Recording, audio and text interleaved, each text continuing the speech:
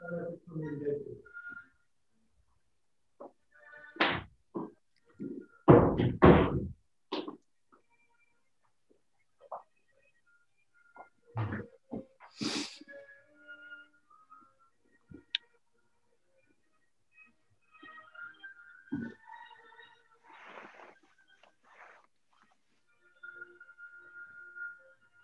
are live in YouTube.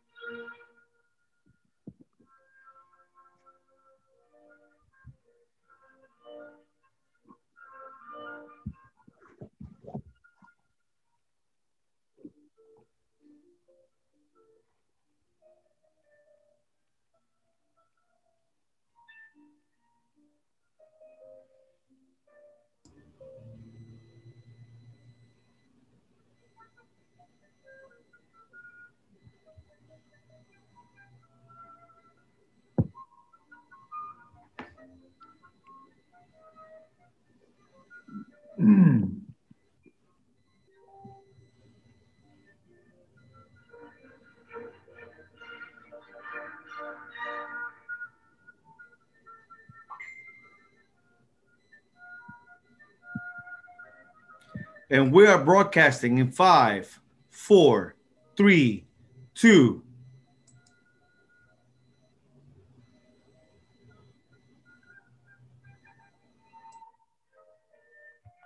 Great. We'll just wait one minute for everybody to join.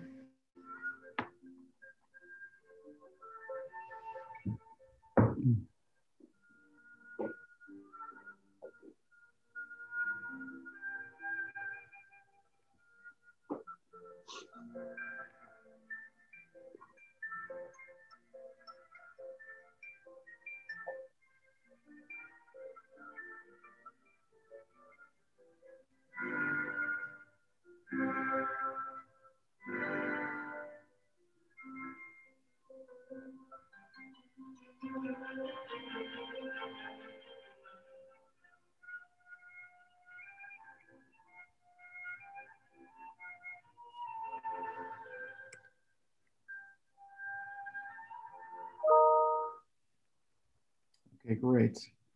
So thank you all for joining us for uh, the first 2021 session for the Miami Global Brain Tumor Symposium. Uh, really special symposium we have this week. Uh, just some quick introductions. My name is Mike Ivan. I'm one of the neurosurgeons here at the University of Miami, co-director of our research program and um, specializing in brain tumor and skull base.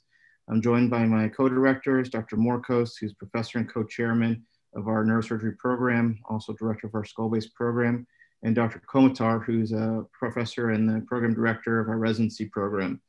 Also, Carolina Benjamin, who's assistant professor and director of our Canes lab, which is our skull base anatomy lab. Mm. Uh, each week we put the, one of these uh, seminars on, uh, and I couldn't do it without all the help uh, from Sylvester, Comprehensive Cancer Center, University of Miami, and our Department of Neurosurgery. All the administrators have been tremendous help, and, and thank you uh, to them all. Uh, if anybody has more questions about uh, the program or anything you see, you could always find us on social media. We're on Twitter, YouTube, and also this is our website. Uh, you could always find me as well on social media if you have any questions. Uh, so uh, last year we did 32 uh, different symposiums every week, and this year we're changing it up to once a month. this is a special week with Dr. Berger, and after that we'll be doing the first Wednesday of every month and this is just a teaser for what next month is, which is be starting next week with Dr. Chiocca joining us from uh, Brigham Williams Hospital, talk about immunotherapy. So be sure to, to tune into that. Uh, but let's get into this week. Um, uh, we have a, a, great group of panelists of junior faculty and chief residents. Dr. Zacharias joining us uh, from Penn State. He's associate professor, director of their neuro-oncology program and director of brain tumor and skull base surgery. Dr. D'Amico joins us from Lenox Hill director of their neurosurgery oncology program, and two chief residents, uh, Nitesh Patel, who's a chief resident at Rutgers, aspiring brain tumor surgeon, and, and Dr. Higgins, uh, who's joining us from Columbia University, uh, also uh, aspiring brain tumor uh, surgeon, and, and, we thank them for their uh, participation today. Uh, this week, very, very special um, for me to introduce our, our keynote speaker, Dr. Berger. Um, he's uh, not only a legend in the brain tumor world, but also has been a great mentor and teacher to me, as I was very lucky enough to train underneath him while I was a resident at UCSF, and he continues to help to me as a, I'm a junior faculty. Dr. Berger one of the most recognized brain tumor surgeons in the world. And um, really, we could fill multiple lectures on all of his achievements and research. Um, and so I'll just keep this brief. Uh, he has deep ties to Miami. Uh, he uh, actually went to high school here and played football before he went to Harvard and then returned here to the University of Miami Medical School where he um, started his medical career. So it all started here in Miami for him. Uh, he was actually recently inducted into the Hall of Fame for the University of Miami Medical School uh, only one of 25 graduates to have done so. After this, he went to UCSF. He did his residency there, uh, as well as clinical and uh, research fellowships. He also did a pediatric neurosurgery fel fellowship at the Hospital for Sick Children in Toronto. He uh, recently finished his tenure of 23 years as the chairman of neurosurgery at UCSF, where the, the long list of accomplishments for both his own research and the department's research is, is just extraordinary. Uh, some of them include uh, the department being the top recipient of NIH research funding for over 20 years. Um, also, uh, keeping the reputation scores for the Department of Neurosurgery is one of the top in the world for over his entire tenure is just incredible. Uh, he also, during that time, and continues to be the PI for the UCSF SPORE uh, brain tumor program, which is the longest continually funded brain tumor SPORE program in the country. Uh, and the uh, accomplishments out of this program has, have also been uh, extraordinary, including shaping really our brain tumor culture and foundations that we have it now, such as changing the guidelines for the WHO classification, changing guidelines for new uh, imaging protocols for brain tumors to look for uh, prognosis, prognosis and, and diagnosis. Uh, and many of those have been in high impact journals, some of which you see here, but they include Science, New England Journal of Medicine, Nature, and JAMA, uh, hundreds of articles. Um, he continues to be the director of the UCSF Brain Tumor Center, as well as director of the Center for Neurological Injury and Repair, as well as the co-director of the Adult Brain Tumor Surgeon, uh, Surgery Program at UCSF.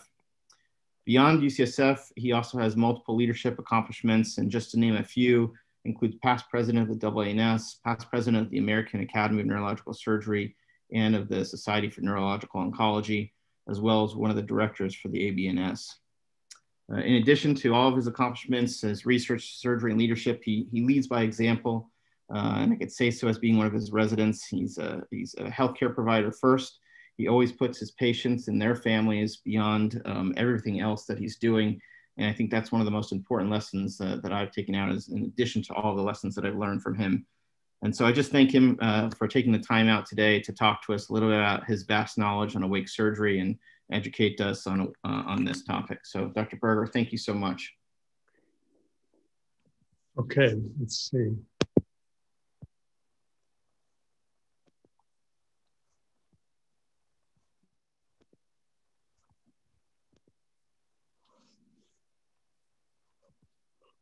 Perfect, doctor. You're in the right screen. You're ready to go.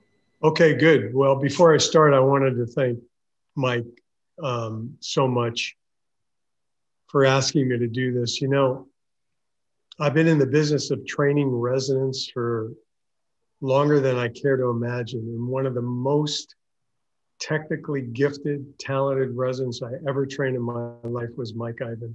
He was just fantastic. I loved having him in our program. Um, I've loved everything about him. He's just a wonderful person, and I'm just delighted that he still thinks I have something to teach. So, Michael, I appreciate it very much, and I thank you. And the other person I owe a great deal to is Barth Green, of course.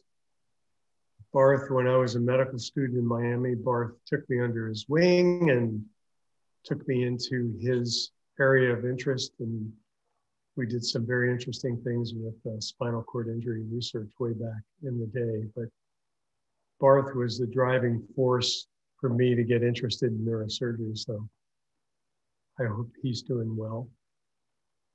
And uh, the University of Miami is um, very special in my heart, having grown up near Coconut Grove and uh, gone to the medical school there and spent many a spent many a day there on campus. So it's great to be part of this symposium. And you know, I thought what I would do is in the in the time I have, and I'm just going to try to run through this because I think it's it's mostly a story, and I would like to give you this lecture as a story of how I got into this, how things evolved, and the lessons that I've learned along the way.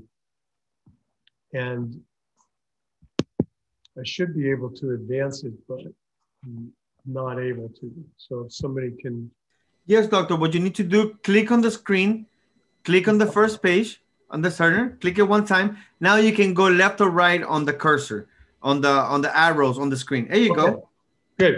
So so let me let me just again, the goal of this lecture is to tell it like a story, and I think it's something that um, every resident can embrace in their career? How do you start a process and where does it lead to? And in the beginning, you know, I was really interested in being a tumor surgeon. And on the other hand, I wanted to figure out a way to do something very, very different. And I was lucky enough to work with George Ojemann, who was an epilepsy surgeon who was beginning to do a lot of very interesting work in language localization so I decided I would combine these two worlds. But in the very, very beginning, there was nothing in the literature when I went back and looked at how functional imaging and mapping could be used to help you be a more aggressive tumor surgeon in a very risky arena, being as safe as possible. So I realized early on if I was going to get into this field that I was going to have to sort of carve my own niche as we went along. And that's what this is about. So, where do you learn something like this? I learned as an undergraduate at Harvard, I took courses at the medical school and had the opportunity to come into contact with Norman Geschwind, who was really a phenomenal neuroscientist, neurologist who was interested in language localization. In fact, he was the one who began to explain to us how different areas of the brain could be potentially linked together in a connectivity strategy, such as in the perisylvian network that allowed us to better understand language organization in the brain. And in fact, he was really the first one that got us to think about the concept of plasticity. And I'll, I'll take you back to plasticity in this lecture because I want to show you what keeping your eyes wide open can allow you to do. The other person who was instrumental in our great uh, field of neurosurgery was Wilder Penfield, who really was the first one who mapped the brain with electrical cortical stimulation in the neurosurgical arena. And this is before we had autopsy studies or before we actually had functional localization where everything was really based upon autopsy studies. But yet the together at Penfield and at the Montreal Neurological Institute, they began a process where they were beginning to describe the different regions of the brain for motor and language function. So the, the work from Penfield was very important. I went back and read this book that Penfield had written to try to understand how he began this journey. Now, at the same time, as Mike Ivan pointed out, I've always had a very strong concern about um, safety in the field. And in fact, when I was president of the I gave my keynote address on patient safety. And this is a beautiful example of how this technology not only increases extent of resection, but minimizes morbidity. The other thing I realized, and I, I would just tell any of you who are getting into this area, is that there is a a very, very important learning curve. You could see where I was as a resident looking over the shoulder of my former chair, Charlie Wilson.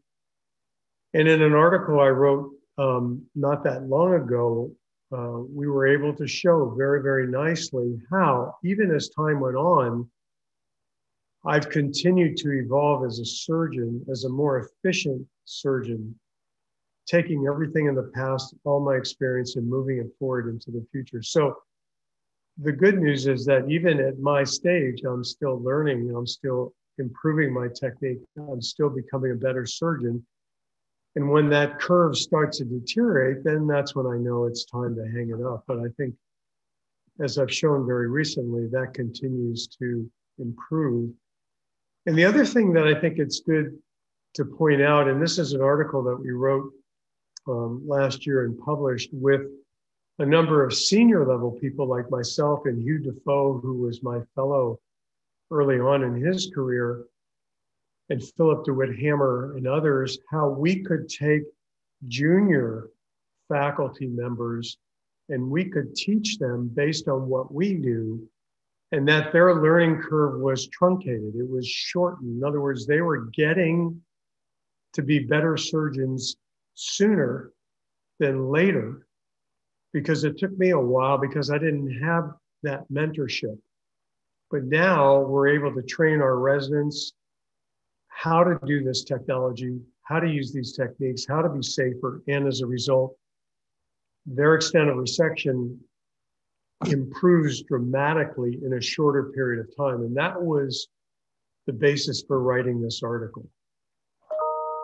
Okay, so beginning this process, I think the first thing that occurred to me was as I became a more aggressive surgeon, I was seeing clearly in both low grade and high grade tumors better outcomes for our patients, not just in terms of safety, but in terms of ancillary issues like seizure control, and most importantly, in survival. And I also realized in my career as other strategies evolved, such as intraoperative imaging and ways to use technology to help us define tumor during surgery that no matter what other technology I applied, I always kept in mind that function was much more important than anatomy. And the point being is that if I'm in the middle of something anatomically and I'm not exactly sure where I am, I rely on function and the mapping of function or lack of mapping of function to get me to where I want to go to. So this is a very important concept that you'll see in this talk.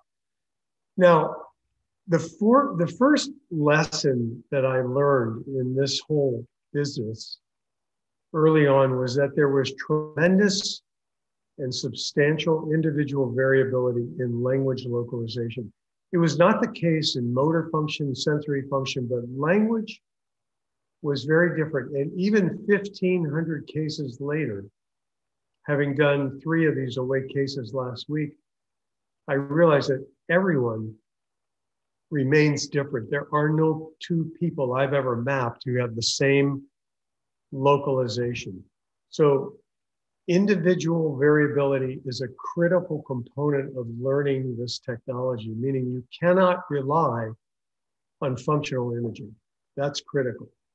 And the other important lesson that I learned early in my career was that if I was going to do multiple cases as a tumor surgeon during the day, I had to really think about focused exposures in which, as I got smaller and smaller exposures, I realized that a number of these maps were negative. And so the question early in my career was could I rely on a negative stimulation map and still feel comfortable with the resection. And again, I'll show you how that played itself out. Well, let me just skip ahead to an article that we published with Eddie Chang. Eddie, of course, is the chair now at UCSF, a phenomenal um, surgeon scientist who's done a lot of this mapping with me. And this was a study that we did not that long ago, showing very, very clearly that language is quite variable. And when we look at the scenario with speech arrest versus naming function, you can see the hotspots where you would expect to see stimulation induced speech arrest, but a lot of areas where you might see it and where you may not see it. Just like naming function, you think is always going to be located in that area back in Geschwind's territory. But the reality is, meaning Wernicke's area, but the reality is this is not often the case. And sometimes we find no naming function in the area of Wernicke's region, but we find it in Broca's area, or we find it way up in the parietal lobe or in the anterior temporal lobe. So the first critical lesson to learn in this business, if you're going to do mapping, is that you're never going to find two people who have the same map. Therefore, you have to map each person individually. And the answer to the negative mapping paradigm came in this article that we published, which I still think is probably the most significant article that I've published in my career because it pointed out that when we put together all the maps cumulatively of these people that we had studied throughout the years, that when we saw an area, such as in this region, when I stimulated this area in 100% of circumstances, in this one cubic centimeter, centimeter square area, I could not find any stimulation induced naming or reading dysfunction. Therefore, this points out that if you do a small map and you have negative mapping, you can rely on that data to plan a surgical resection. And the reason I know that this is the case is because when we looked at our postoperative morbidity, we saw very few examples after three months in swelling result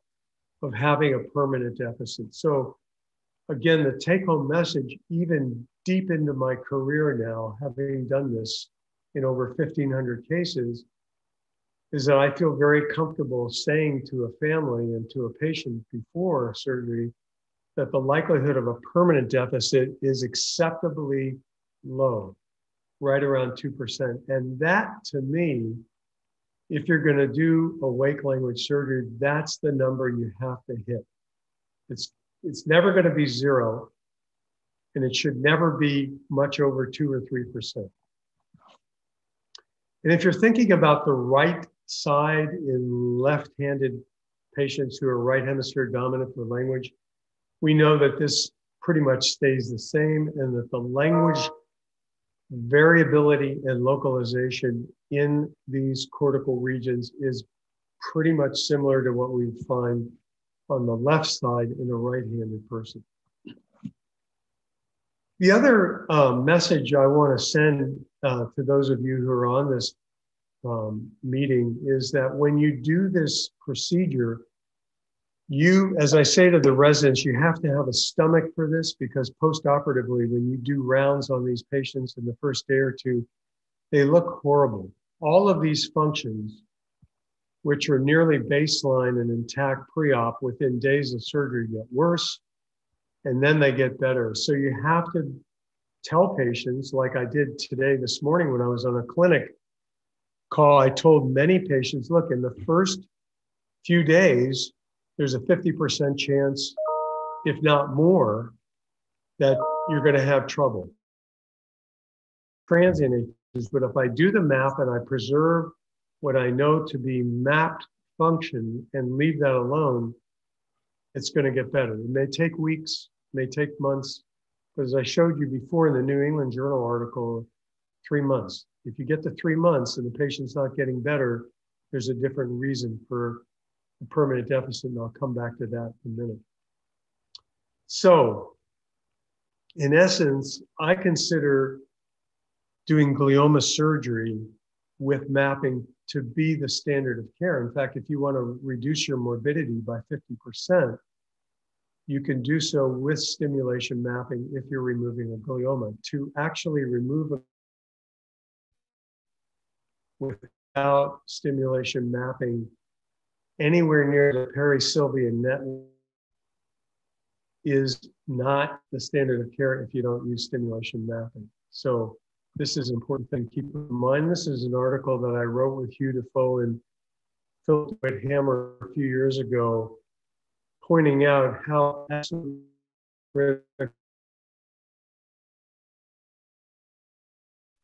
is to reduce the morbidity.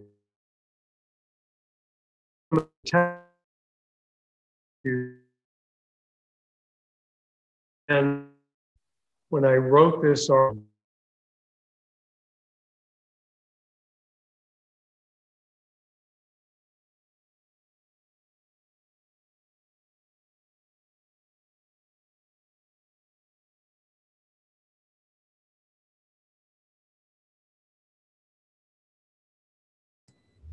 Dr. Ivan?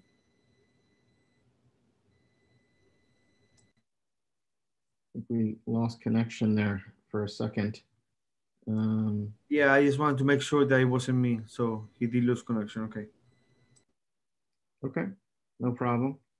Um, why don't we go with one of our uh, panelists while we are waiting for Dr. Berger to rejoin us?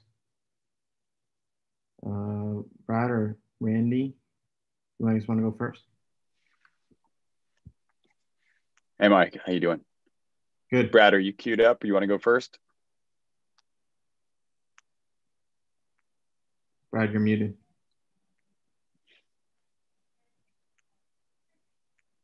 Yeah, he's still muted, Brad. All right, now I'm really back. Um, let me share my screen here. Um, again, Mike, thanks for having me. It's good to be back in the new year, kind of doing this again, and with a great panel and, a, and an amazing speaker and Dr. Berger.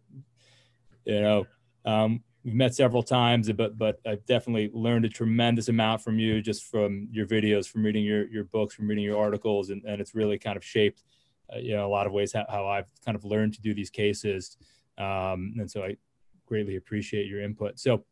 Um, the questions I have are, are, are, kind of just these broader questions, and I don't want to take up too much time. And I'll just kind of go through maybe some cases that either demonstrate these things um, or, um, in part, um, highlight some of these points. And so, and we could get some of the panelists to kind of chime in here while yeah, we're please. for Dr. Berger too, because he might miss the beginning. Yeah. So, so the first one's a case that hasn't been done. So I'd love love everybody's input.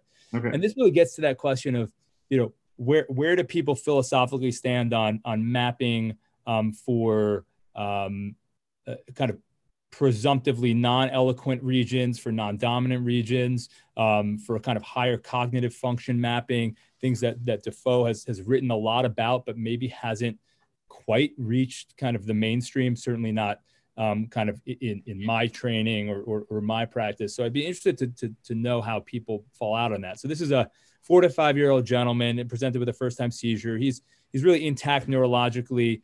Um, some more advanced imaging is pending, but he's got this um, lesion here. So this kind of non-enhancing lesion. Um, this is kind of this kind of interesting region, this kind of anterodorsal precuneal region. So kind of medially located um, behind um, kind of the, the, the central lobule above occiput. Um, what would people do here? Would people do this awake? You know, I think my gut, I look at this initially and I say, you know, this is one that could be safely done asleep. Um, uh, I'm just curious what people would do, what people would be looking for, what people would map. Um, Duffau writes about this kind of body awareness as being part of, of this region um, um, and, and has looked at that in several patients. Doesn't seem like there'd be any real obvious task to map unless you were worried perhaps about maybe some of the deep subcortical language fibers out laterally, but curious what the group would do here. Well, you know, Brad, this is actually an area that I'm I'm super interested in. Um, I think, you know, training wise, we would have done this asleep with at least you know uh, phase reversal techniques and maybe subcortical stim in kind of the later days. Or that that's probably what I would do here, where we don't have as comprehensive of an awake uh, center. But as we branch out more and more, I think you know an awake surgery gives you the opportunity to really at least confirm that your motor function is doing well. But in terms of the more advanced testing, um, it you know it, it it's patient specific and you know neuropsych testing specific in advance. Um, I think I remember, you know, in training any, anyway, you know, people with uh, parietal lobe lesions, uh, they they wake up different without a doubt. There's some sort of, uh, you know, difference in their affect and their function. And, um, and so I'm leaning towards doing these more awake, especially since we know that extended resection here is going to matter and a, and a supratotal to the degree that you can safely without compromising someone's lifestyle is going to help and improve, you know, outcomes. Yeah. I would do awake, awake with motor. Uh, let's just see if Dr. Berger has his uh, his back. Can you hear us? Back, Dr. yeah. Yeah, can you hear me? yeah. Yeah, we can hear you. I don't know what happened, but uh, No worries. Yeah, no problem. I could kind of catch you up. So, so I was just, um, We can maybe just comment on this and then we'll get back to Dr. Berger's talk. yeah, please.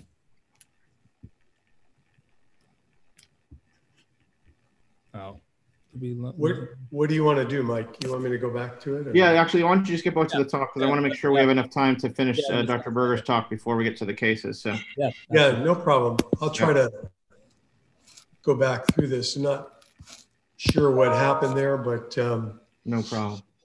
we do have some weather issues out in California, so I'm not sure what the issues are. Okay, so let me let me try to catch up. I assume this is pretty much where you saw me leaving off. Is that correct or no? The slide before this one, I believe. Right Yeah. here? Yeah. Okay.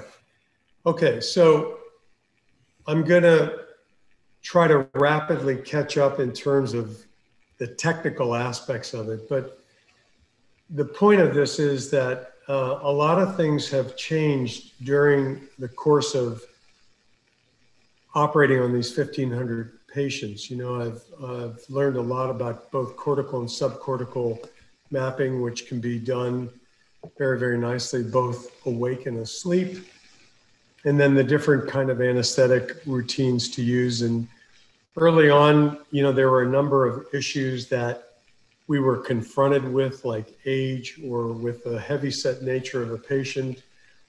And even uh, just to show you how I work through one of these issues, it was early uh, stimulation induced seizures, which I found if I used very cold uh, irrigation fluid, I was able to abolish the seizure activity during the case. And we published this in the Journal of Neurosurgery. And now this is a technique, meaning the iced ringer solution that's used routinely. And my strategy for these cases is to do the awake, asleep, awake procedure.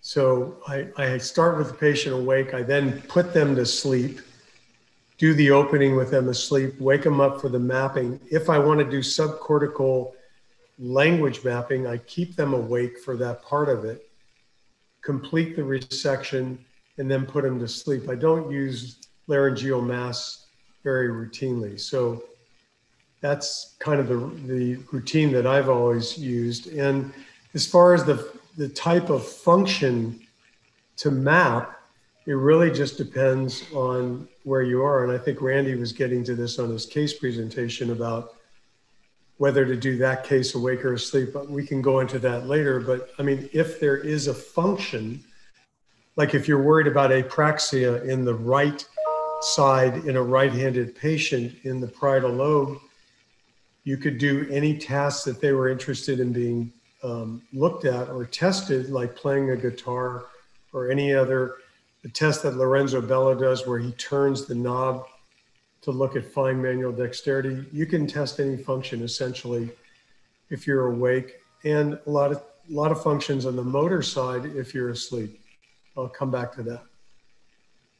The anesthetic regimen has evolved into using either propofol or dexmedetomidine and remifentanil. I think the only thing you have to remember is in this setting, it's not unusual to change the anesthetic regimen early on before you even make the skin incision. So again, the technique has evolved from very wide exposures you see here to very small exposures like this, focus exposures where you have negative mapping using an anesthetic regimen that works for a given patient. And you see in my experience when I published this article, the need to be flexible over 40% of the time I've had to stop before the skin incision and say, stop the propofol, stop the Remy. Last week, both of the propofol and the dexmedetomidine in one patient made that patient very anxious, and I just did it with local anesthesia and remifentanil, and that works fine. So you just have to understand your patient and what their um, concerns are during the process and adjust to that. Stimulation-induced seizures very unusual now especially since I never use a current more than three to three and a half milliamps, using 60 hertz with a one millisecond pulse duration. You stay with those parameters. This is the classic low frequency technology. If you stay under three, three and a half milliamps, you don't see seizure activity. And as far as the deficits are concerned, again, it's still very, very low, around 2% is what I quote all patients and their family members as the permanent risk for a language or motor deficit with mapping these pathways.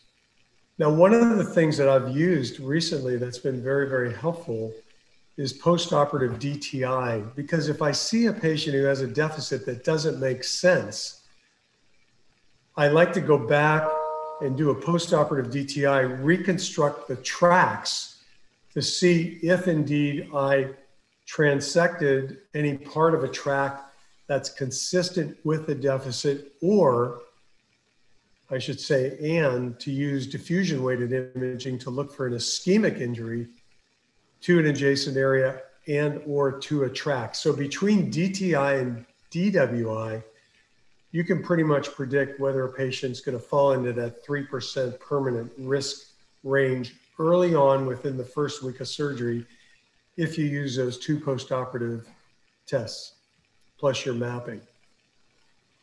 Um, I've summarized this recently in an article we published in the Journal of Neuro-Oncology and also reviewed the literature, which gives you an idea of where you might fall on the spectrum of deficits. You know, for me, as I said, it's 2%, somewhere around 2 or 3%. Anything higher than that, I think, is too high. And that's based on the techniques that I've used throughout my career. So I feel very comfortable with that morbidity risk at this time. Some of the basic strategies I talked about the iced ringer solution, which we will use during the course of mapping to prevent spread of seizure activity along the cortex. If the patient's having pain upon opening the bone, you can inject the middle meningeal artery to get control with lidocaine. Just do an intradural injection. That helps quite a bit. This is the technique that I use in the operating room in terms of my setup. I don't use intraoperative MRI because you recall from the one of the first slides I showed you, function for me has always been more important than anatomy. I'm not so much worried about where I am. It's what the functional aspect of that tissue is that I want to remove or preserve. And only the mapping is going to tell you that. I use some fairly standard paradigms for naming or reading function or for sentence generation, looking for the ventral stream versus the dorsal stream. And in that setting, in the subcortical realm, I've tried a lot of different techniques and methods and tests. And I find, and this was based on a study that I published in Brain and Language um, last year, I find that there are two tests which keep me out of trouble subcortically. So when I am interested in the ventral stream, such as the inferior frontal occipital fasciculus, and I don't want to injure that. If I stimulate that, I'm going to see semantic paraphasias for the ventral stream. And I can use this test, which looks to uncouple these words. When you show, uh, for example, if you say to a patient, All right, you tell me if these are related or not.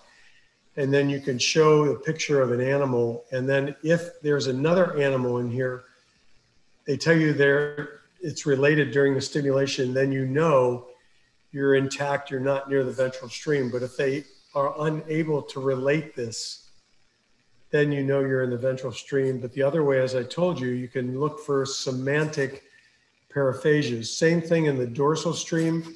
We look for stimulation induced phonological paraphasias, or we show these patients a small scene and we get them to tell us exactly what they're doing because stimulating the SLF or the arcuate fasciculus will result in these kind of errors in terms of not being able to recognize this simple scene or stimulation induced phonological paraphasias when you're not showing them these pictures. So the bottom line is using naming, reading, sentence generation, and picture word interference, I can go through every language function, including the risk of predicting when I'm going to see a deficit in that function if I injure the ventral or the dorsal stream based on those four tests. Okay, the subcortical mapping, this is how I typically do it, where I stimulate and I resect at the same time. This is an article that I wrote not that long ago with Eddie Chang, which I think is a really good understanding of the relationship of language to the subcortical systems. If you're interested and you want to read about this further. Okay, well, let's go over some of the indications for using awake craniotomies. We'll see how far we get over the next 10 minutes or so, but essentially it's anywhere, whether it's left or right, anywhere near the perisylvian networks, anywhere near the brainstem um, or the thalamus, anything like that, where you're worried about finding some functional pathway during the course of resection. So just generically, frontal lobe resections, do this awake. Temporal lobe resections when you want to push this back behind the vena Labbé. Parietal lobe resections when you want to go not just cortically, but you want to go underneath the surface to find the subcortical pathways subserving the SLF and other components of the dorsal stream. And of course, the insula I'll just show you an example of how you can use this technique to get there. But another very, very useful strategy. So take, for example, let's, let's look at a classic awake technique where we would want to use this in the awake setting. And then I'll show you another strategy where we can do um, motor mapping asleep. So in this case, this is um, a zone one, zone four insular tumor based upon my classification of the zone systems. And in this case, this is what I want to achieve. I want to be able to get after this tumor. To do it, you have two ways to do it. You can either split the Sylvian fissure, or if you're like me, you're more of a transcortical based surgeon. I like to go transcortically because many of these tumors are not just in the insula, they've gone up underneath and they're in the uncinate fasciculus and they're in other these other deep pathways that getting just a Sylvian split is not going to be enough. So I never make this decision until I go into the operating room and I see what the function is. So in this case, I had to go above and below the Sylvian fissure to do the kind of resection I wanted to do to get to these points. You can see the above and the below resection going underneath through the uncinate fasciculus around the middle cerebral vessels and the lenticulostriate to get to that point. There are other cases I'll show you that I've done transsylvian. But this allows you to take these tumors out, to do the subcortical mapping, and to push it as far back as you need to go to get near these pathways.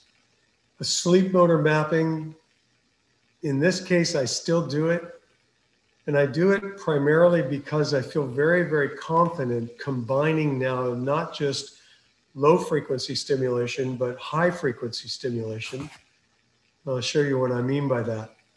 so, several years ago, I first described the subcortical technique for motor mapping, and I found that, at least in that early experience, that I still had a risk of a deficit from subcortical injury to the tracts.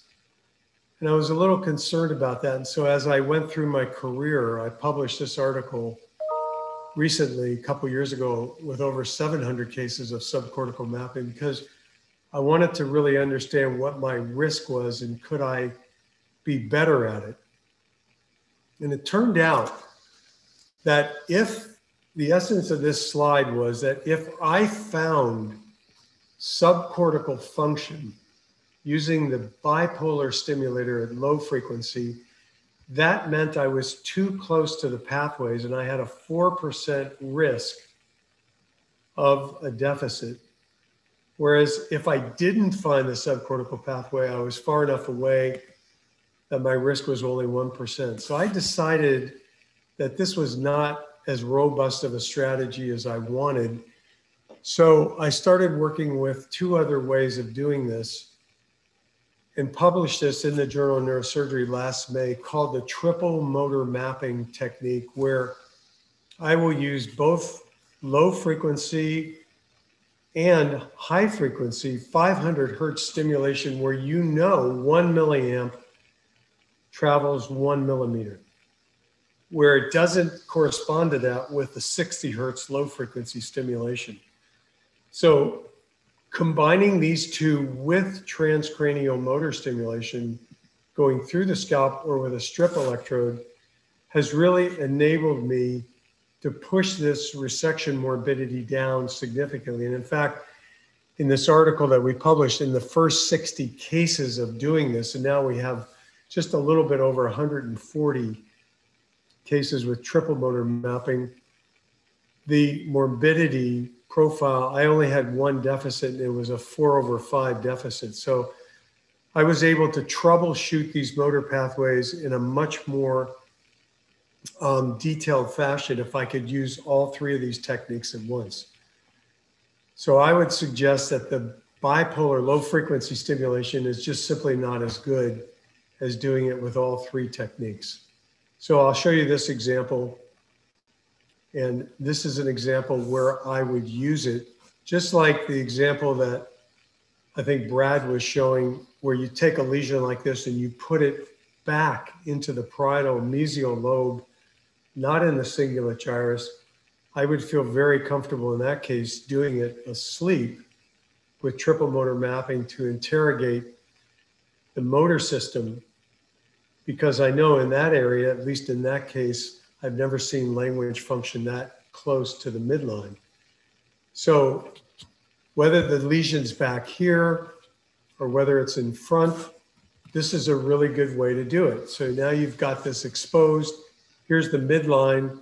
Here's the tumor. You've mapped the posterior boundary of the motor cortex. Now you're going to take out the supplementary motor area. And while you're doing that, you're going to resect stimulate as you go, do the mapping and push it all the way back into the subcortical system as far back as you can until you've got the resection done, but avoiding the injury to the descending motor tracts that come from the motor cortex because you're constantly stimulating and interrogating that bank of tissue. So that technique works out very well and you feel very comfortable at this point in time for me doing it asleep. And when I talk to people like Lorenzo Bello, who has, I would say, the most experience in the world with motor mapping, he does every case asleep, never does any motor mapping awake anymore. And I basically feel the same way, having gone back and forth from asleep to awake motor mapping, finding it too sensitive, and then using a sleep motor mapping and using the trimodal technique to preserve those pathways. Um, that seems to work very, very nicely. And you can see you come all the way back to the motor cortex right here with that technique. And the other thing I learned from the supplementary motor area was that the, the ability to predict whether or not you get a supplementary motor syndrome has nothing to do with the aslant tract. So we have an article that's now submitted to the Journal of Neurosurgery with 130 SMA resections. And I wanted to see this far into my career whether I could really understand the anatomy behind predicting who's going to get an SMA syndrome.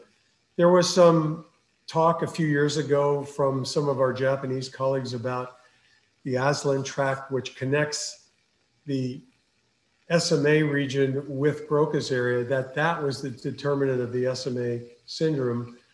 But I found in cases like this, where I actually transected the aslant tract, that I never saw a supplementary motor syndrome. You can see the case pre and post op. So I think it remains in question. The, the punchline to the article that's going to come out is the SMA syndrome depends directly, proportional to how much of the cingulate gyrus you take out with the SMA. And we come up with a, a really nice volumetric resection, which shows when you move into getting an SMA syndrome post-op. Okay, so I'm just going to show one more thing. It'll take three minutes, Mike, and then we'll stop because I know you have cases. But I just want to show you on this one slide what this technique has allowed me to do through my career.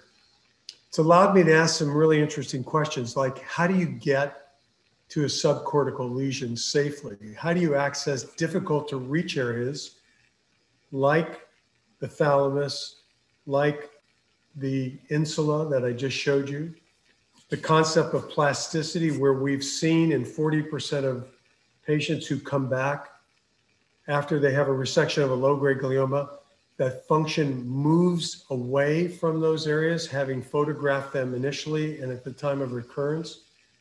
The ability to resect lesions that we're told are inoperable based on functional imaging, that are not inoperable based on stimulation mapping during the surgery. How to use this to challenge existing dogma. We've written our experience recently and, and actually presented this at the CNS last year about the fact that Broca's area really doesn't exist. It's an area just like the supplementary motor area that when we remove it, we see patients who are either mute or very dysarthric that it returns completely because turns out Broca's area is a planning portion of the brain, just like the SMA. It plans motor function, it plans speech, and removing it does not prevent return of motor speech. And of course, the whole business of extent of resection, which we could spend a whole hour on this, but I'm just going to briefly show you this one example. And this is this is the essence, and I'll stop after this. This is the essence of how I've used this technique to define who I am as a tumor surgeon. You have to ask yourself, how do you approach lesions? I approach lesions in the way of a transcortical approach to the equator of the tumor. So you take a tumor like this in the mesiotemporal lobe. Some of you may split the Sylvian fissure to get there. Some of you may go under the temporal lobe. Some people, some surgeons in the past went under the occipital lobe to get there. But it is a very straightforward process for me. I've always taken a tumor, I've made a drawing of the equator, and I've connected it to the shortest distance to the surface and said, that's how I'm going to get there. Now, the, the burden is for me to prove that the area I'm going to go through is not functional. So you take something like this. I want to get to this lesion. You might think about coming down the, the falx or the interhemispheric fissure, but I'm going to map this region. And when I find an area that's not functional, I'm going to go all the way down through a very small cortical window and I'm going to resect this and I'm going to map as I go down to do that resection. So, for example, you take a thalamic tumor like this, how would you approach it? I'll tell you how I would approach it. I would do a case like this awake. I would go transcortical, equatorial into this lesion awake, putting the patient in a lateral decubitus position. Why would I do it that way? Because it's the closest point to the equator of the tumor. I don't have to go on the South Pole and get all the way up to the North Pole and vice versa. So I'm going to map the supramarginal gyrus. If it's negative, I'm going to go through it and I'm going to map all the way down to get into this area and then map the internal capsule while I'm doing the resection. And you know, the point is, I wanted to do a very aggressive resection. I know that I have residual disease, but I can do this resection transcortically and get the patient in and out of the hospital without a deficit and get a 98% resection of the tumor. So for me, every tumor I ever approach, no matter where it is, is based on a transcortical equatorial approach to the tumor. And I'm writing, you know, the final chapter in my career is I'm writing a textbook now on glioma surgery from the front to the back, just the technical aspects of how you would get to any lesion based upon where it's located, the anatomical issues, the functional images, how do you approach it, and how can you get in and out using this strategy of a transcortical equatorial approach. So, Mike, why don't I stop there? That'll leave us some time for your cases, and maybe we can get into some of this stuff as we go along. That'd be great. And that, that was that was our that was a great uh, talk. And thank you again so much. While we get the the first case kind of up, with just a couple of questions from the audience here. One was uh, from Brittany Stopa asking about so what is your role for using functional MRI in preoperative kind of management? Uh, and how do you let it guide you for surgery? And does it ever tell you that the surgery is, is you shouldn't be doing the surgery, it's unresectable? Yeah, it's a good question. And the only time I use it is to localize the motor system. It is really good to localize the motor system because the motor system's hardwired, but I would never, ever not operate on a patient based on fMRI, ever. I don't care what it looks like. I will always take that patient into the OR and interrogate the pathway I want to go through to get to the lesion. Another question was uh, this is more technical, but when you're doing your cortical and subcortical stimulation, the, the power, the milliamps you're using, uh, do you take into account what you find on the cortical mapping into what you would end up then using in subcortical or how do you how do you change the the power throughout your your surgery to kind of optimize the track right uh, so good point the way i do it is i start with it's here's the analogy if you want to go into a stadium and go to your seat you're going to look at your ticket. It's going to tell you what section to go to. Which then it's going to tell you what seat to sit in. If you want to know where the motor system is within two centimeters, use high frequency stimulation, 500 hertz, and walk down that pathway from 20 milliamps, 20 millimeters down. When you get to 10 milliamps or 10 millimeters, then you switch to bipolar low frequency stimulation, in which the current density is the greatest between the electrodes. So the current doesn't spread. And if you use six milliamps in the asleep patient on the surface, you're going to use six milliamps subcortically to take you from 10 millimeters down to about three to five millimeters. That's where you stop. Because if you push it more than three to five millimeters, then you're going to possibly get into trouble with ischemic injury to the tract. You won't cut the tract, but you could get a perforator. Um, one other one I think you talked about briefly, but uh, uh, see, Xavier Mitchell is asking about how seizures during surgery are are impacted in, in your mapping? I think you talked about treatment of them with ice cold saline, but uh, how does that affect your mapping abilities? Well, it doesn't. If you use the ice cold saline, you can abolish a seizure within typically five seconds, 10 seconds. Then you go right back to it. Doesn't change anything because the patient's not postictal when they have a seizure that briefly. However, if you use Ativan or propofol to abort the seizure, you got to wait 10, 15, 20 minutes to remap. So just use the cold irrigation, stop the seizure, and go right back to it. Okay, great. Let's get to uh, to Brad's case. Thank you so much. Yeah. Uh, yeah. Th- thanks for that talk, Dr. Berger. There was really, really super informative. I've learned a tremendous amount from you, and I'm I'm really interested to hear kind of your your your thoughts and take on on your asleep motor mapping because the, the sense I get and, and maybe I'm wrong, but it's it's become very in vogue to do motor cases awake.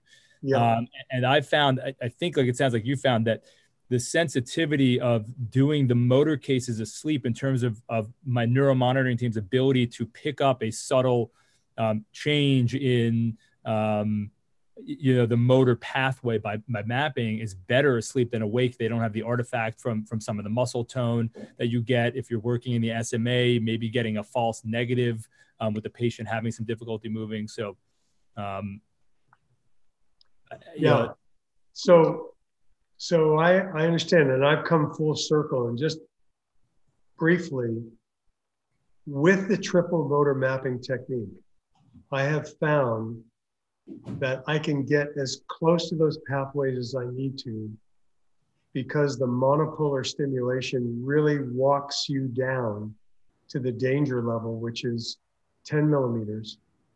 And then using that current, when you get right up to that pathway, three millimeters, four millimeters, you not only find it with monopolar stimulation, but you can find it with bipolar stimulation. So it's a much more sensitive strategy. And if you're using a strip electrode with or through the scalp with MEPs, you're always interrogating the motor system while you're working. The problem with doing it awake, and I, I made I made several mistakes doing it awake because it's so sensitive that you stimulate at a small current and the patient's moving and they're you're not getting an accurate information because it's too sensitive a technique when they're asleep. And I didn't realize this until I had this talk with Lorenzo Bello one night over a beer or two, and we were just talking about it. He was telling me he just would never do it awake anymore because he finds it you just it's too sensitive and you stop too soon. So now i feel very very comfortable doing it asleep. Now if you feel strongly about doing it awake let me give you a little advice. Use the monopolar stimulation. You can still use it but you got to be careful. You cannot put the return electrode on the forehead you have to put the return electrode right in your field in the muscle. Otherwise, the current makes the patient jump too much. So you have to use stickers that go onto the muscle groups, and the return electrode is in the muscle or in the scalp, very close to where you are. Then you can use these small currents to walk down in the awake setting with monopolar stimulation. But using bipolar stimulation, there's too much current. Yeah. And it, it's too sensitive. Yeah. Yeah, so so curious kind of applied to, to this lesion. This is a kind of a 40 some odd year old gentleman yeah. with first time seizure, neurologically intact, not even from the motor standpoint per se, but but getting to the the question of kind of mapping non-language um, motor function, higher kind of cognitive function. How do you decide when that's appropriate, what tasks to use, um, what kind of guides you there? I, I know some people yeah. are kind of everything awake line bisection tasks, things like that. I, I haven't gotten to that point yet. I'm kind of curious how you get there, if you think there's value in that for someplace um, like like this lesion.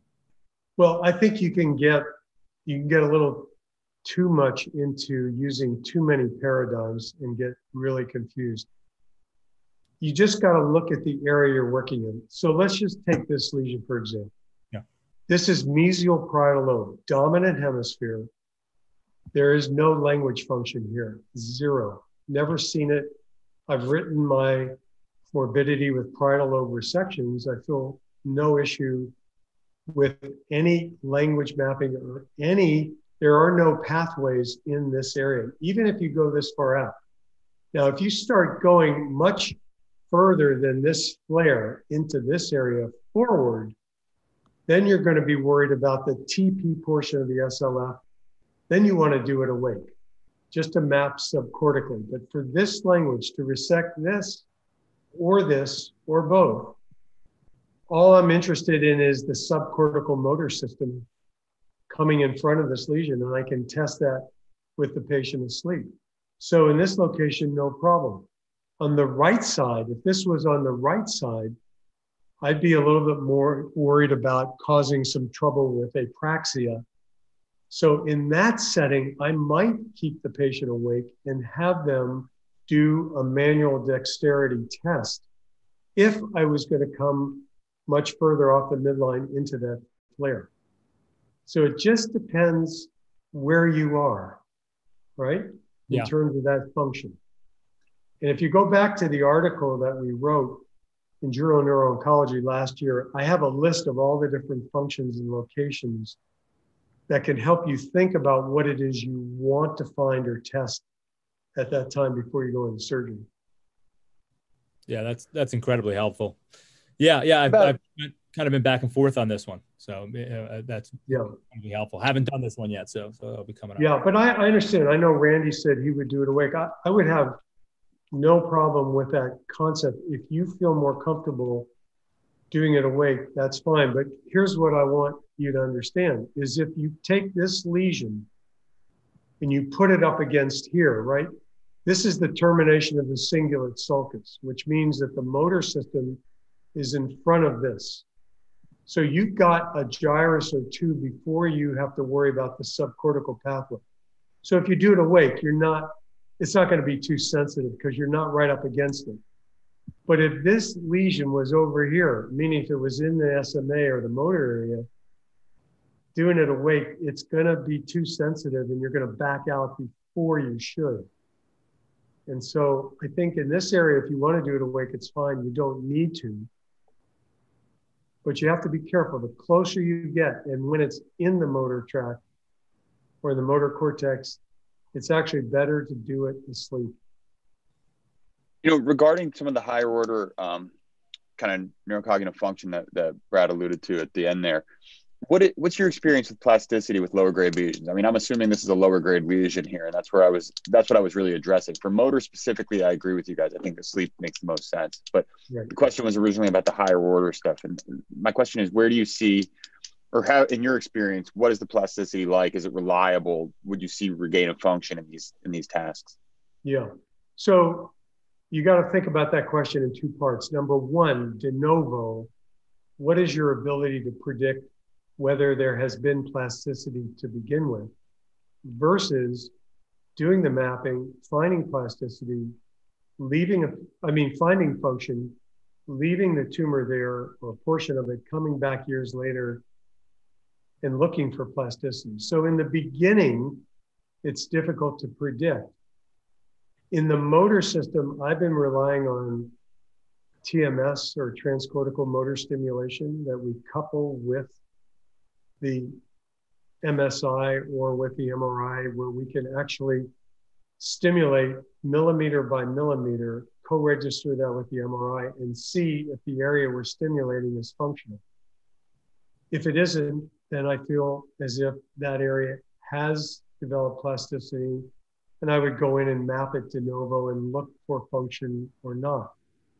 I think the more relevant question is if you operate on somebody and you find function, how do you determine if there's plasticity? You wait several years, you go back in, you can remap it, and then you'll find out if function has moved. There is no diagnostic way right now that we can rely on to tell you whether plasticity has occurred. And I've seen plasticity occur within six months. And then in the article I wrote in JNS, sometimes we saw it 60 months later. So in a low grade glioma, you just simply don't know. You just have to go in and map it. You find function, stop, back out, identify where that is, and then you can follow it.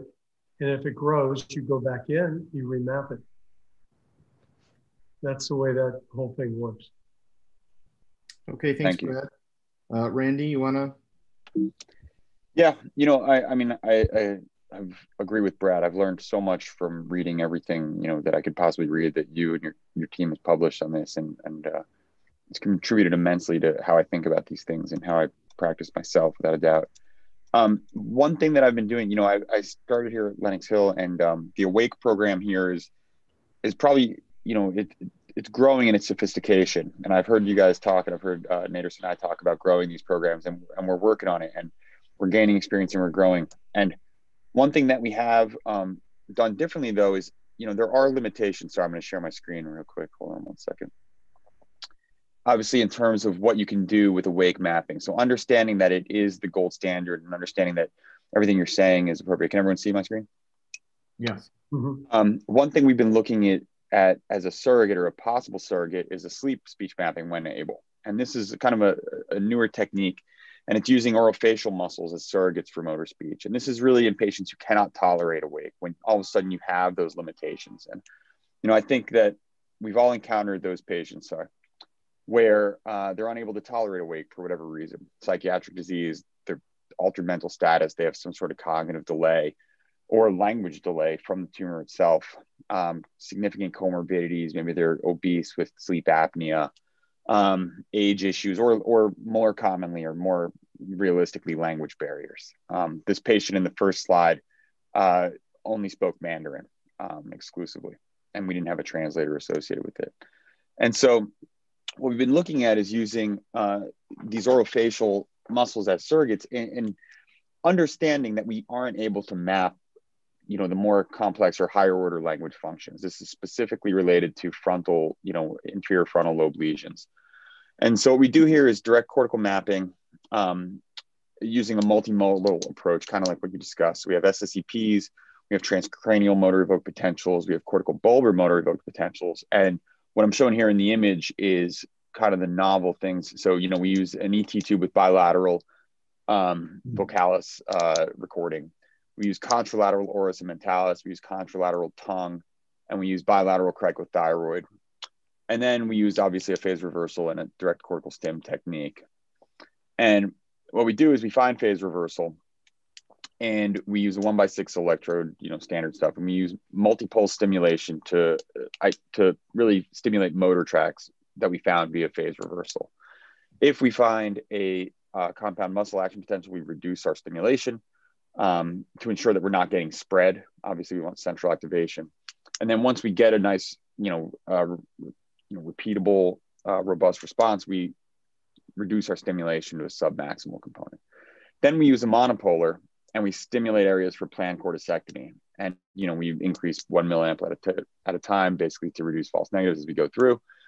And our experience is, is small and we're looking at this um, but I, I, think it's meaningful to a degree. It's not perfect without a doubt but when you're left with no other options it allows you to get you know close it allows you to plan your corticectomy at least. Um, the trouble is obviously is is our um, our controls here. We don't we don't have one yet where we've uh, stimulated something and taken it and then caused a problem because obviously you know we, we would run into problems with that um, but we've seen positive impact. And so my question to you is, you know, what do you, what do you think about something like this with your experience? This is, you know, obviously me young in my career, trying to think about ways to, you know, circumvent some of these issues that we have. Um, here, I'm going to stop sharing, or I don't know if I did yet. Yeah. But uh, Yeah. just just your thoughts in general. Yeah. No, I mean, I think this is the kind of thing that we should all be doing is looking at new ways to do things. No question. It's just like, can you use resting state as a surrogate for language localization, like Eric Leuthardt is trying without actually doing intraoperative mapping? I mean, we don't know. We got to try. You don't know. You have to try. Yeah. I think a couple of caveats here. One is, of course, when the patient's asleep, you eliminate the ability to do any subcortical interrogation of the descending tracks, which, as you know, is so critically important in taking out a tumor like this. So that's one thing. I think the other thing is that, like we showed with Broca's area, when I routinely get speech arrest or face motor cortex on the dominant side, I was doing this case last week where that happened. I had no question about removing that area. I know I'm going to get a facial droop contralaterally that'll get better. But I was able, with the patient awake, to stimulate the subcortical systems and know when to say when, when to stop. So um, I would feel, personally, I would feel uncomfortable with using it as a surrogate just because I would be worried about the subcortical system, Randy. I think that to me would be my concern. Now, again, I, I think you need to do this. You need to keep trying it. You need to keep track of your morbidity and the recovery profile of your morbidity. And if you can show for those kind of lesions that it's equally effective, then great. Then, then we need to know that. We need to change our ways of doing it. But you know, in a patient, I just want you to also be careful with the idea that patients can't tolerate awake procedures. And you and I both know that there are those patients who really, really, really can't tolerate it. But all of those patients, like, you know, the Mandarin patient, you've got to find a Mandarin translator. Yeah. If the patient's anxious, you know, I just pre-medicate them with Ativan and stuff. Their speech is a little slower, but you get them, you get the drift. You just, because it's easy if you find this or that, which makes you back off. But the better way to do it is to, you know, just say, I'm going to do these cases awake. I'm not going to not do them awake and find the way to do it. But again, for those cases, like when I looked at that case, I said to myself, wow, that's a lot of mass effect. I don't know if I'd want to do the patient awake because of the mass effect and not hyperventilating. But the other way I would do it is I would either do one or two things. I'd either take the patient into the OR, open it up, brain swelling, get a quick map, put in an LMA, hyperventilate, take it out. Or intubate them first, do one stage procedure, go in, internally decompress it, get them out of trouble, wake them up, bring them back two days later, do it awake. So you you just got to try to troubleshoot it, you know, to the point of saying, I'm going to do it awake until proven otherwise. To you know, and, and just to comment on the other part of Randy too is the other, uh, you know, these these patients that come in, they're already losing their language. You know, another uh, Dr. Berger move uh, that I always found useful is admitting the patient a couple days beforehand, drying them out, giving them some mannitol. And you know, when I first started doing that here, people were just like, "What are you doing? Like the patient's speech is no good. Like you're not going to be able to do it awake." But you could really find out a lot in those one or two days when the patient's in the hospital, and you optimize them with steroids and mannitol and, and, and if they improve, you could definitely, I've seen multiple times changing a patient from a poor verbal, poor language patient into something that you could map. Yeah, yeah absolutely. Agree. Thanks so much. Very, very insightful. Okay, great. Thanks so much. Um, Natasha, Natasha, you want to go next? Sure. Just give me one second. You guys uh, see my screen? Yes, that looks good.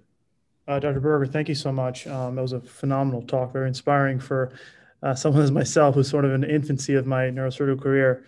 I'm a neurosurgery resident here at Rutgers, and um, I have a case that um, I actually had done with Dr. Hanft. Dr. Hanft is now at Westchester, um, but he was a former Rutgers attending for about a decade. Um, so I'm just going to quickly go through some slides and just have some very basic questions. So you have a 25 year old female um, who around, I think it was around 2018 or so, had a, about a year of intermittent right arm and facial twitching. Um, her symptoms sort of on and off. Went to her primary care provider and took some time to get a workup. Um, after conservative management, eventually did get an MRI, uh, which noted a left frontal abnormality. Uh, no other deficits on exam and no other significant history. Again, she was young and healthy otherwise. I'm just going to stick to the key relevant images of an axial FLAIR MR here, and mm-hmm. I'll just mm-hmm. sort of fast forward.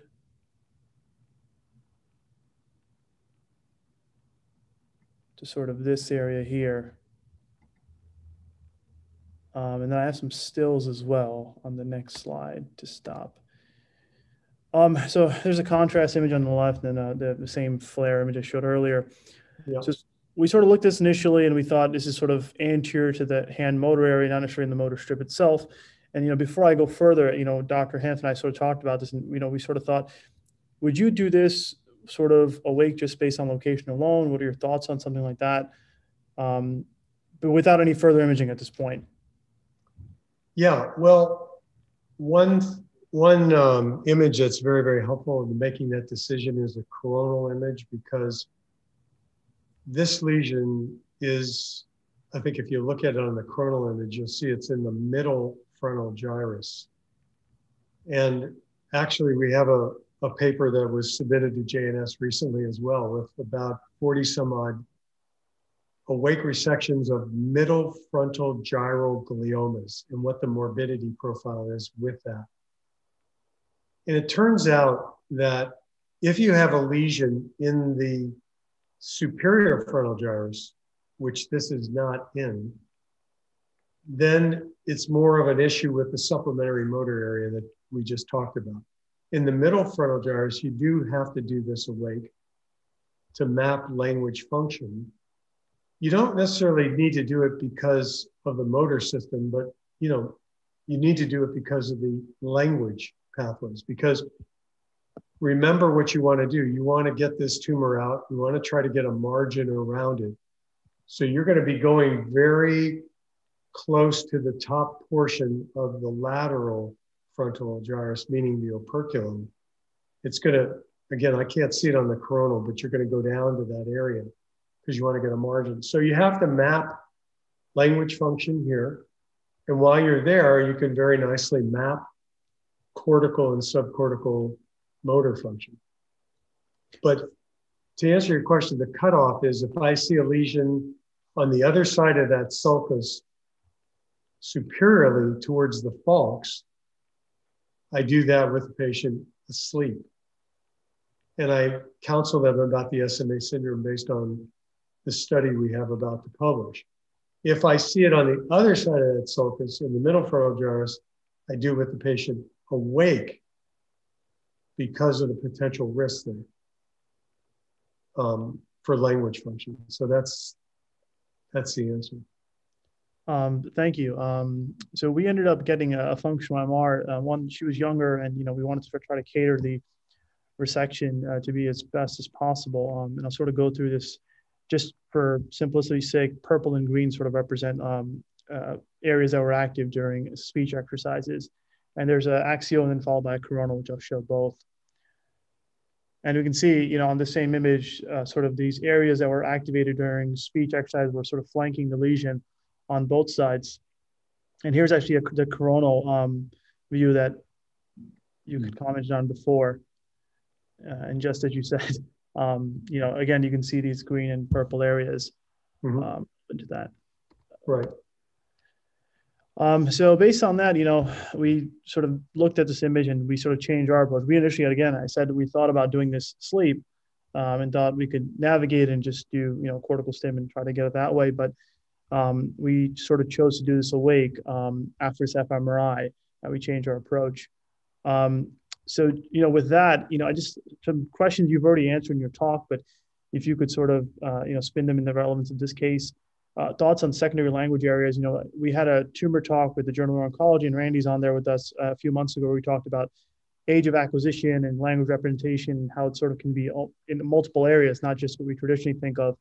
Um, how do these things affect your own surgical planning? Um, also, things as, as you were sort of touched on, I think in your talk about SMA areas and or even laryngeal motor. Uh, other things, just sort of nuances, um, and then the most I guess the, the more the more important question was guiding depth of resection. Um, just one side note, we had noticed um, areas of speech arrest as we stimmed around this lesion that corresponded to the fMRI.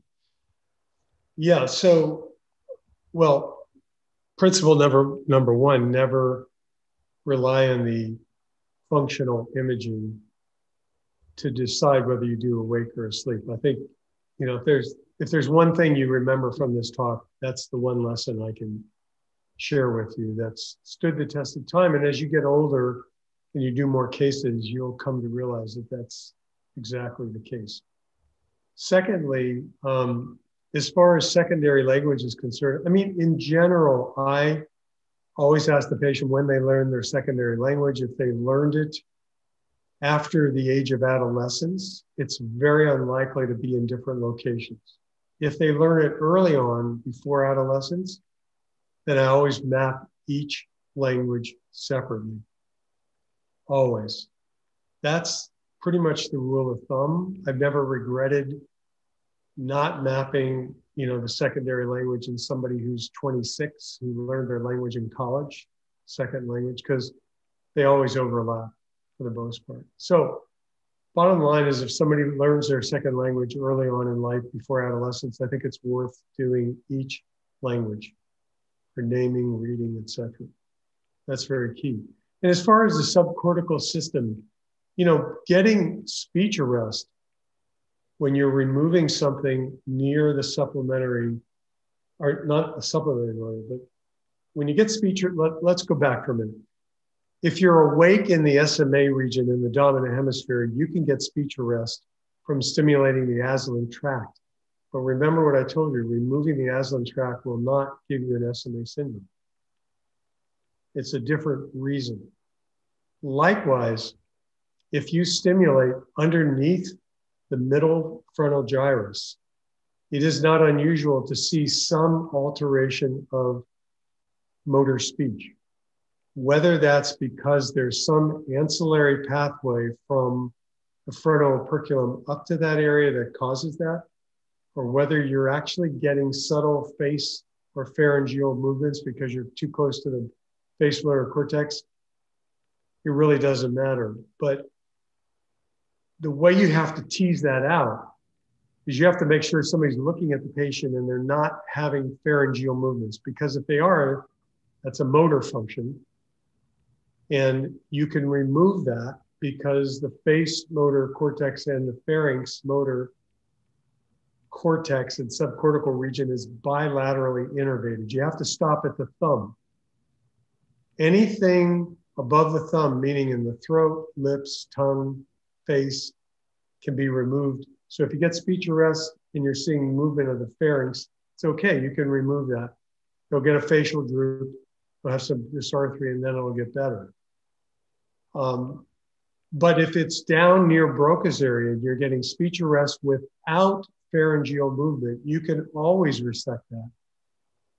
Again, it's a planning station. So you're going to get postoperative hesitancy, you're going to get postoperative dysarthria, but it will come back because it's a planning area, just like the SMA is. Thank you. Um, some just very quick post-operative images. Um, just our initial yeah. pull up, and we actually just saw her back in November, and um, here's her follow-up MR. Uh, yeah. The path came back oligo, just uh, grade two at the time. But let me just comment on this case and the case I think Randy showed. Excellent resections. You guys are doing great. I mean, at, at your stage, I wasn't doing resections like this. I mean, no, I'm serious.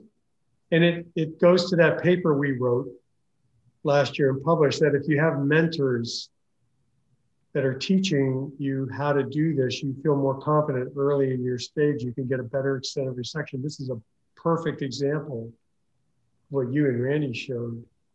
Um, I think, you know, of being more aggressive, safer early on in your career. It's great. I love to see it.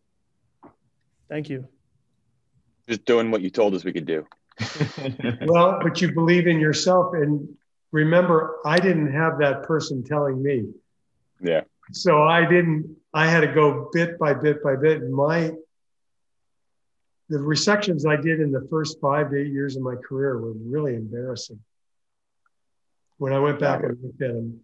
But it was a painful experience, but it was a great learning experience to go back and look at why I stopped and I kept saying, okay, next time I'm going to go further and further. So now that's why I'm on that part of the curve. Yeah. You guys are already there and you're going to get better and better, which is great. Okay, uh, Dom, you have, if, if Dr. Berger has three more minutes, we have the last case. Go right, ahead. Uh. And uh, just want to thank Mike and Rick and the Miami team for giving us a chance to be on the panel and Dr. Berger for your insights. Uh, this will be uh, interesting to get your thoughts. And there's a case I did earlier this year with Dr. McKhann, uh, where one of the chief residents of Columbia. Uh, it's a 65 year old uh, right handed gentleman with a essentially a low grade lesion in the right, primarily middle temporal gyrus, lateral neocortical, presented with seizures. Um, pretty straightforward at face value, but the caveat is that he's a pretty prominent music composer and he's very worried about uh, losing his ability to to um, continue this after after surgery, his award-winning films, uh, etc. Um, so uh, I wonder if, before I go into what we did, I just wonder if you have any thoughts off the bat in terms of uh, any awake accommodations that you would do or have done or seen any issues with musicians who've had uh, surgery in, in, this region in the past and any issues uh, post-operatively. Right. So if this is where it's located and only in this area, in a right-handed person who composes music, I I would not hesitate to do this asleep because I've never seen basically an apraxia, meaning a, a, a loss of the ability to do something that they normally could do, whether it's you know addressing apraxia or physical apraxia or whether it's some cognitive apraxia. I haven't seen it from this location. What Guy has shown uh, in the past is when you resect things in this area on this side, some patients have inability, well, they have prosopagnosia, which is the inability to recognize uh, faces. I have never seen that until I did a case recently that's so unusual. It's in the mid part of the parahippocampal gyrus on the right side in a right-handed person. And she developed the prosopagnosia.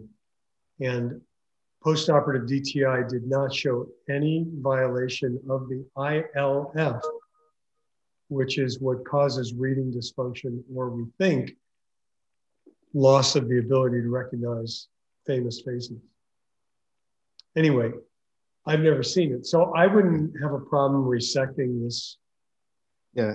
So, I mean, that's what we kind of told him there was a low risk of any issues post-operatively with his ability and uh, going through some of the literature you've kind of mentioned your, your studies on right dominant patients and Dr. Duffau is a big proponent of awake surgeries.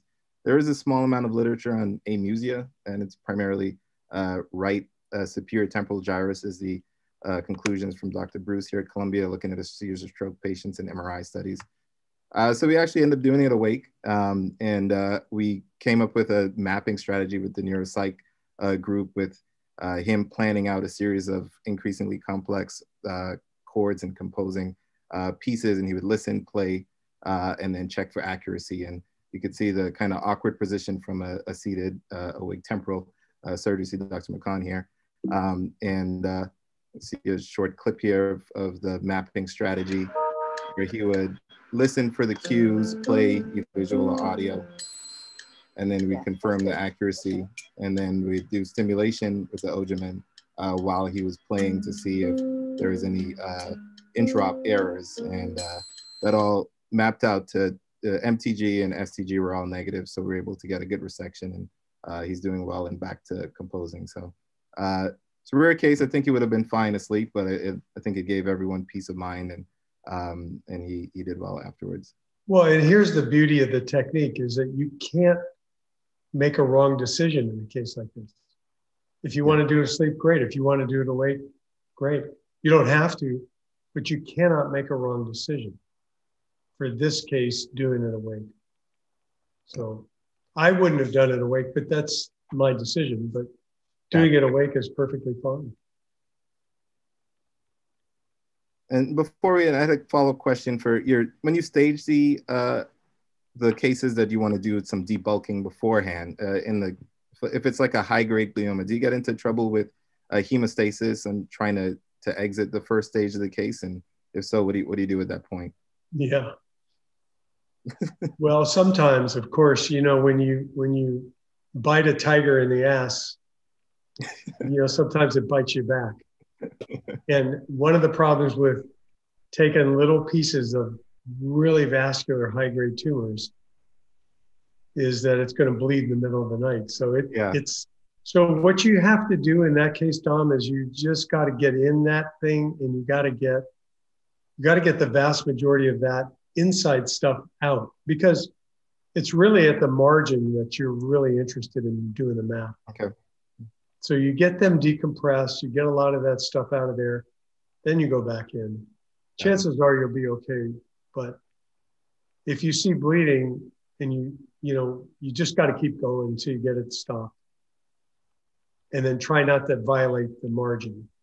Yeah. Save that for the awake part. Thanks. Okay, great. Well, we're past 6:30, and, and those were phenomenal cases and an amazing talk by Dr. Berger. I just want to thank him again for his time and and uh, answering all the questions that we had tonight. It was really, I think we all learned something, uh, no question about that. And uh, we'll continue to learn from you, and, and we thank you for all of that. Well, I learned I learned a bunch from all of you folks too. So it's it's equally gratifying to me because I still learn at my stage, and you will too. So have fun doing it, and uh, remember remember why we're all here. We're all here for one reason. That is, take care of patients and do the right thing for them. And um, that puts the onus on you to do it. But you keep doing it, and you'll you'll do it right, as you will see over time. So don't be intimidated. Just be smart, be safe, and remember, there is a patient at the end of that spectrum who's going to have to live with whatever you do.